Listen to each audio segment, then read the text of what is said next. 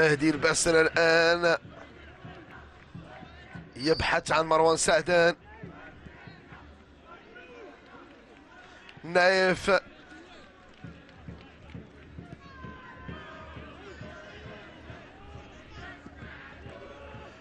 كرة أمامية. تسديدة. كانت خطيرة هذه المحاولة.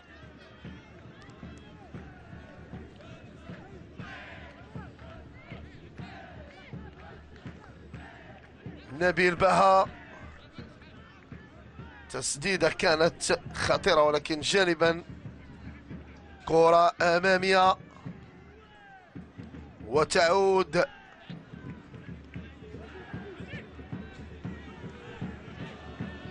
مهدي خالص.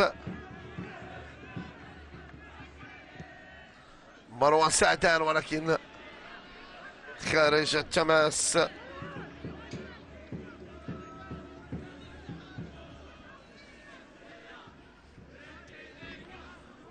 سنتابع الآن.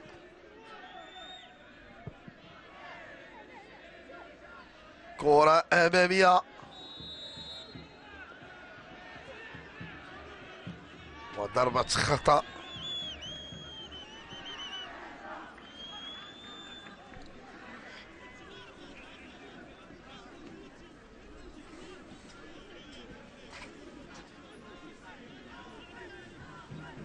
ضربة خطأ الآن.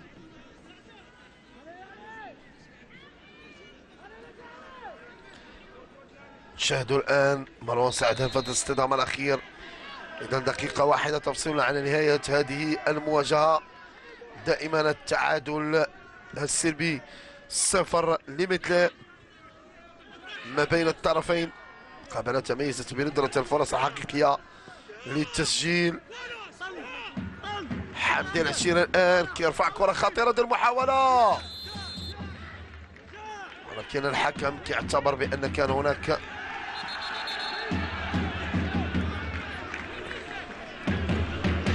إذا الورقة الصفراء لهدادي حلحول عقب هذا التدخل الأخير. شاهدوا الآن هذه المحاولة. إذا المهدي خلاص آخر اللحظات إذا الحكم بعد لحظات.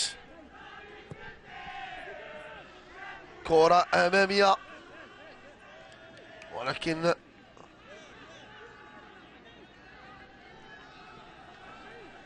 أربع دقائق كوقت بدل ضائع. يبدو بأنه العد العكسي لنهاية هذه المواجهة في وقتها البدل الضائع قد انتهى وبالتالي يبدو بأنه النتيجة آه، تسير نحو البياض باستثناء إحدى المفاجآت التي يمكن أن تكون مفاجئة ومباغتة. إذا سنتابع الآن آخر اللحظات والمحاولات من جانب نهضة بركان حمدي العشير. كرة أمامية ليوسف القناوي. فريق الفتح الرباطي سيحاول الآن لعب كل الأوراق. الحواصلي يهيئ الكرة الآن للمهدي خلاص مهدي خلاص وتعود خارج التماس. إذا سنتابع كرة أمامية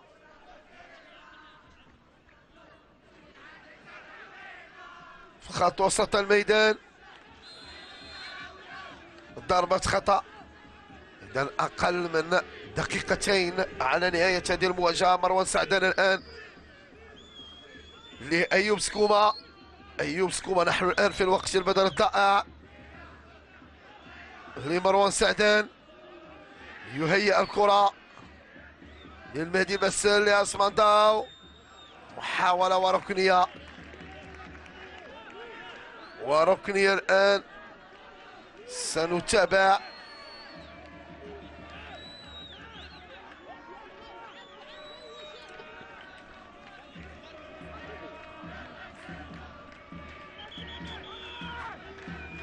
مراد باطنة الآن.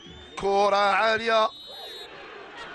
وخروج الحارس اسلام حمدي إذا دقيقة ونصف على نهاية هذه المواجهة. دائما التعادل السلبي يبدو بأن الطرفين سيرتضيان بالتعادل كحل وكنتيجة نهائية لهذه المباراة بعد أن فشل في تحقيق أي هدف. لا سواء فريق الفتح البطي ولا فريق نهضة بركان. فريق الفتح لم يستفد بشكل كبير من طرد اللاعب الحسن أخميس.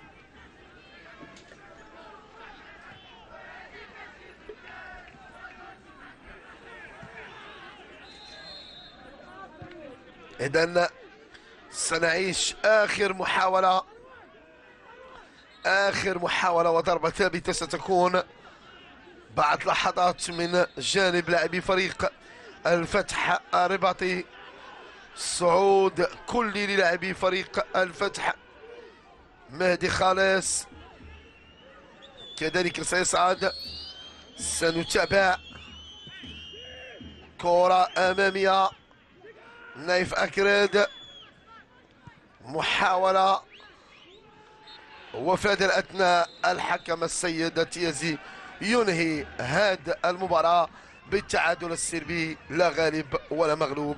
مشاهدينا الكرام أشكر زملائي في وحدة زميلنا الارشادي السادسة وزميل ياسين لوزة في الإخراج الفني وعبد الصمد والشباب كان معكم. احييكم والسلام عليكم ورحمة الله.